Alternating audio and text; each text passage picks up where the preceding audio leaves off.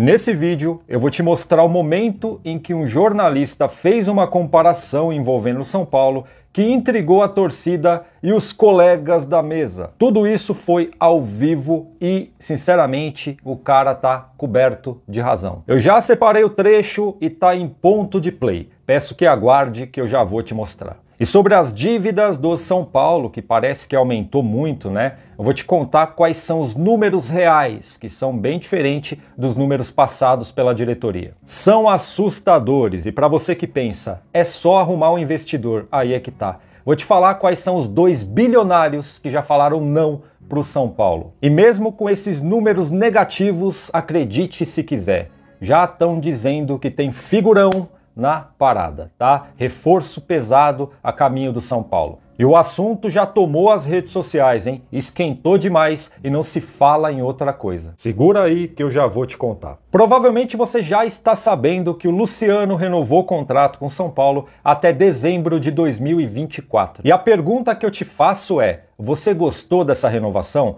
Se sim, vai deixando o like no vídeo. Caso não gostou, utilize aqui o espaço dos comentários e me conte o porquê não. Eu não sei o lado que você está, se é o lado do sim ou o lado do não, mas no final desse vídeo eu vou te mostrar o que é que o Luciano falou. Aconselho você ficar até o final que vai valer muito a pena. E essa notificação eu recebi pelo aplicativo OneFootball, tá? Se você não baixou, você tá perdendo atualizações não só do São Paulo, mas do mundo do futebol. Campeonato Brasileiro começando. Se você perdeu algum jogo lá, tem o VT, tá? Os melhores momentos em vídeo. E você também assiste jogos, tá? Campeonato Alemão é um deles que você vai ver em tempo real, ao vivo. Tudo isso é grátis. Pois é, eles são parceiros aqui do nosso canal e eu vou deixar o link deles aqui na descrição do vídeo. Posso falar um negócio do Boca? O Boca lembra o São Paulo. O Boca é o São Paulo brasileiro, argentino. Boca São Paulo argentino. É um clube de, de, de, de muita camisa, muita história, muitos títulos, grande vencedor, que está sem dinheiro e está sem jogador. Mas agora acho que entrou dinheiro lá, viu, Nilson? É, não, tá lembrado, não. E sim, mas Né, Bruno? Entrou, lá depois botando da a dificuldade moeda. financeira que passou. Não, acabou, tá- tá a tá- tá dificuldade acertando financeira que ainda. passou não foi o São Paulo também, tá entrando dinheiro no São Paulo, mas ainda vive uma, uma dificuldade financeira muito grande. Então, Eu concordo muito com o Nilson César, tá? E vou além. Libertadores da América sem Boca Júnior e sem São Paulo é apenas uma Sul-Americana. A diferença é que o São Paulo não perde para o Corinthians, ao contrário do Boca, que parece que virou freguês. Mas, como diz o Casares, seguimos. O momento do São Paulo é preocupante. Não é o pior dos times brasileiros em dívida, porém, o que a diretoria passou me assustou demais. É uma dívida de cerca de 642 milhões de reais. Eu estava vendo uma live do GE quando de repente o jornalista fez um levantamento de dívidas que ainda estão para vencer. E o valor é de cerca de 739 milhões de reais. Vamos falar real aqui? São Paulo só tem dois caminhos para sair dessa. Ou faz uma parceria forte, que nem fez Flamengo, Galo, Palmeiras e o Bragantino, ou vira SAF. Eu, Renato, acho que esse caminho é até melhor, tá? Mas a diretoria está tentando investidor. Se na época que o São Paulo estava lá com as dívidas controladas, entre aspas, né, que foi naquela transição do terceiro mandato do Juvenal para o Aidar, o São Paulo já tomou um não aí, né, de uma investidora, de uma parceira que hoje é presidente do Palmeiras, a senhorita Leila Pereira. Pois é, segundo ela mesma, em uma entrevista que ela deu para o Esporte Interativo na época, se não me falha a memória, mas ela mesma falou: o São Paulo havia procurado o meu departamento de marketing pedindo patrocínio. Não tinha condições de patrocinar porque futebol é paixão e não via isso como business. Não tinha pensado em patrocinar nenhum clube até então.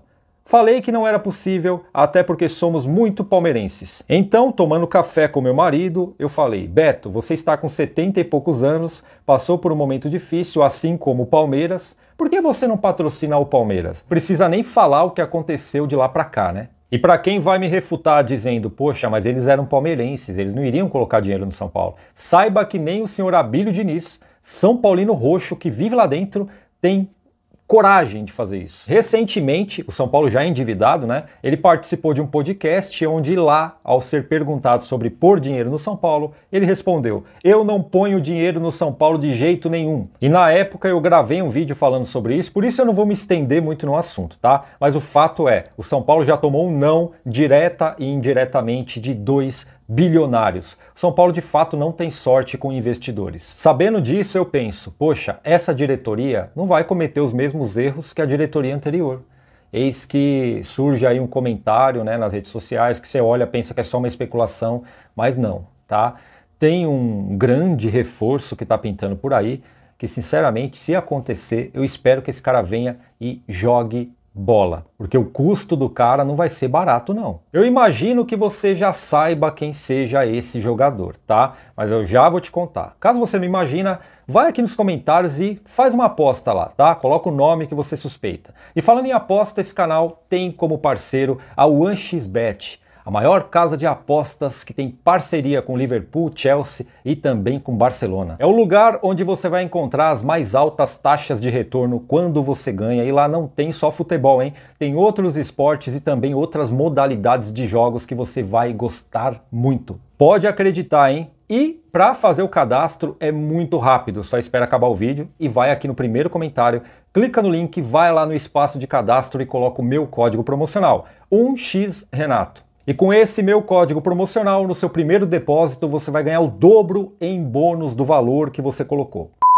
Então, bora aí. Vamos ver se você acertou. Se você falou Lucas Moura, que nem já estão falando por aí, calma lá. Tá circulando nas redes sociais que o São Paulo teria pedido 10 milhões de empréstimo para trazer o Lucas Moura como empréstimo. Mas aí é que tá.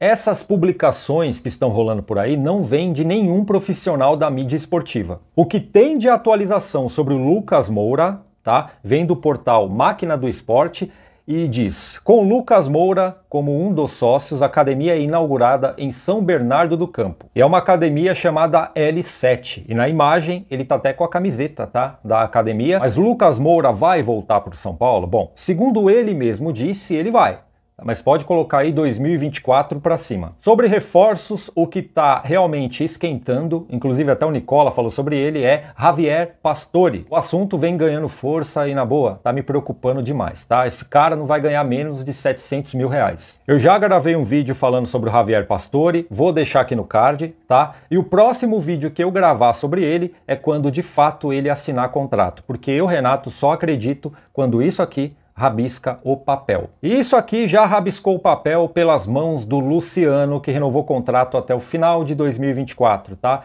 E ele ficou muito feliz e já deixou recado. Roda aí. Fala torcedor São Paulino, estou muito feliz de estar podendo renovar meu contrato. Espero contribuir essa confiança de, de todos aqui em campo, com gols, com, com luta, com vitórias. E até 2024 estamos aqui, né? É, tentando representar essa camisa. Tamo junto, obrigado pelo carinho de todo mundo aí. Olha, realmente senti firmeza, hein? E se você gostou, deixa o like no vídeo, agradeço a sua presença. Vou ficando por aqui, um forte abraço e até a próxima.